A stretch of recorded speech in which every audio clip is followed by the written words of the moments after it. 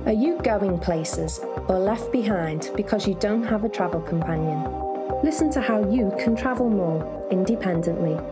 Dr. Travel Best will bring you the best answers, tips, and her mistakes so you can benefit.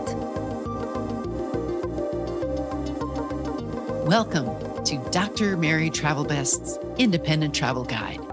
This is for women who are seeking new adventures through travel, maybe at a new stage in life, and need self confidence to get going. I wrote and published the best selling World's First Guide to Independent Travel. And since 1993, I've been preparing to guide you with your next travel experiences. Let's make your travel the very best. The second edition of the guide will be available in several months, so stay tuned for news. Our show notes are all available at Dr. Mary Travel Best at blogspot.com. In this episode, the FAQ is What's my least favorite trip? The destination is Disneyland's California Adventure. That's part two. And my mistake is being directionally challenged. The travel tip is on dental and travel. Here's the FAQ. Diane recently asked Dr. Travel Best, What's my least favorite trip? Well, this is a hard one. So I thought long and I finally decided the one I never arrived at. I spent a weekend trying to get to the East Coast and never landed there. The time was spent in airports, on planes, and in hotels, but I was not happy with the end result. My suitcases arrived on the East Coast, but I did not. It was a weekend trip. I left early on Friday from San Diego, made Houston okay, but due to weather, the plane was grounded. Finally, we did take off the next day, but we never landed in the right city. We just flew over it and then went back west and landed in New Orleans. Now it was Sunday and I missed my event, so I went home instead. So, part two on our destination is Disney's California Adventure in Anaheim, California. I think it's the second best park in the area. It's just across the plaza from the first. You can get a park hopper ticket for just a little more money, or you can get a multiple day ticket and then attend one park a day. That's what I did. You should download the app and get to know the geography because you'll be doing a lot of walking these days.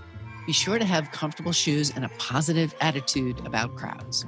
So, where do you park? Well, the parking is $25 a car. So, if you're at a nearby hotel, just use Lyft or Uber and you'll save. We parked two miles away and it costs under $10, plus no lines. So, what's great about California Adventure? It has things for more adults than does Disney. There's no character meetups with Donald Duck. The rides are not so traditional as the original park, most of them are newer. And you can get a fast pass, just like at Disneyland, every two hours. You can also buy a max pass at both parks. So, what are the best rides at California Adventure? Well, I believe it's soaring, it was global when I was there, but you may see something else. It seems they changed the content between global soaring and California soaring. It's an unforgettable ride if you like travel. You'll be going further than you imagine and almost touch the places, smell the food, and feel the wind rush past you. It was too short, but otherwise a great ride. I was there on a holiday weekend and I saw and heard a gospel music competition that was all black, very soulful. It was indoors in a theater, the section normally set up for Frozen. So, this experience can be a good respite for you if you want to be inside and in air conditioning. We did not do the Guardians of the Galaxy ride due to the long line. It was about an hour and a half. Yes, an hour and a half wait. So, getting around this park is easy if you use the technology. It will actually tell you how long the wait is, and you can judge for yourself if it's worth going there or not. Another thing about California Adventure is that alcohol seemed to be served throughout the park in about a dozen locations. They even have a Sonoma themed restaurant and winery. It's a smaller scale. So, since my last visit, things have been changing up there. There's a whole new section for movie cars.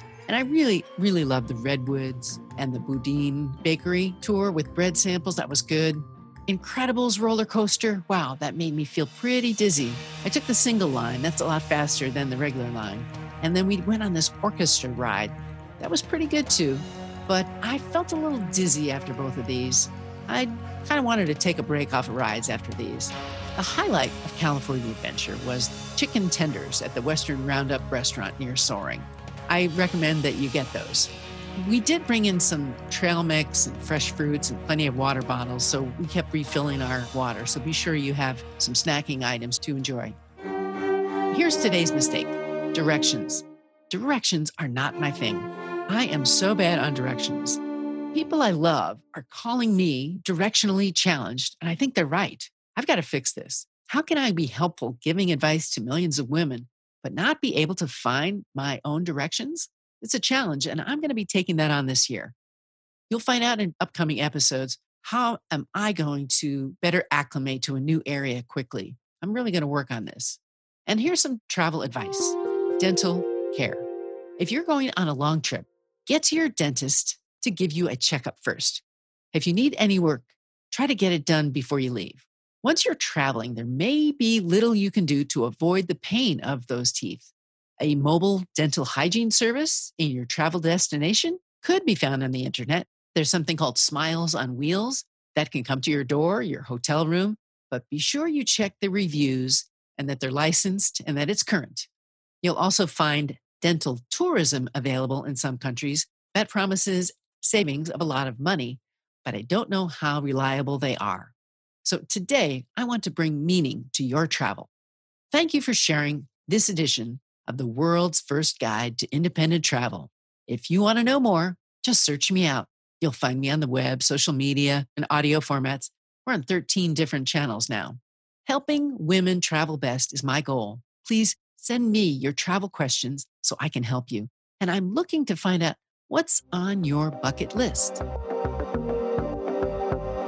What's on your travel bucket list? Tell the doctor and her team of women who travel the world seeking the very best. Dr. Travel Best, that is.